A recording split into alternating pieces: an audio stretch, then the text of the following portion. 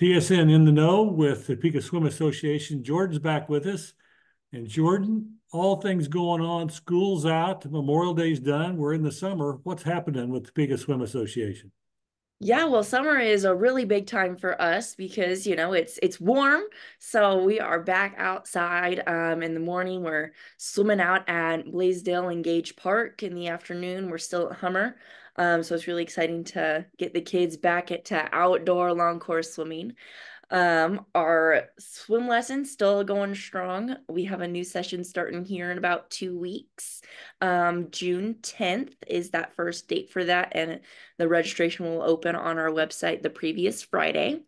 Um, we have a couple outdoor meets that we're really excited to to get going. One is here in town at uh, again Blaisdell Pool and Gage Park. Um, it is uh, June 7th through the 9th.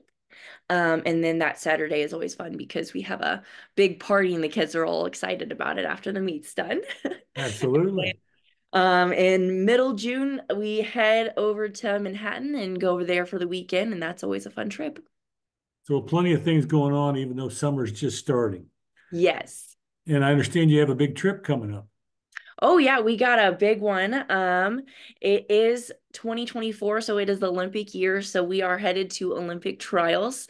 Um, we don't have any swimmer swimming, but it is still a really great experience for those younger kids to go and see those Olympians try and try and make their spot for Paris.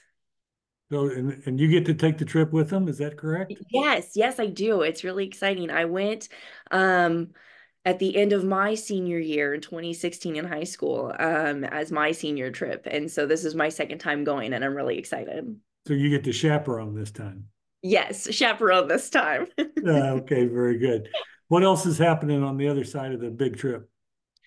Um, we do have um a brand new summer swim league. This is our um second summer doing this. Last year was a first, kind of getting the bugs all worked out. So this year, um, doing it again. It's two hundred dollars for six weeks. So that includes most of the meet fees that uh the kids go to. It's usually about one a week and they get a t-shirt and i believe some caps are involved.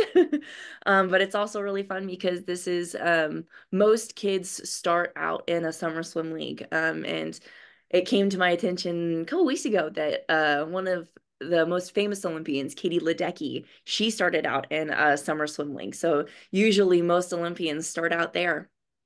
So a big deal a lot of things going on with the swim association this summer Yes, yes, much. And that's just the June.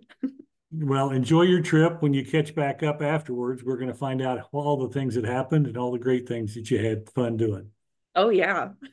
all right. Topeka Swim Association update as we get past Memorial Day into summer for In the Know with TSN. Jordan, thank you.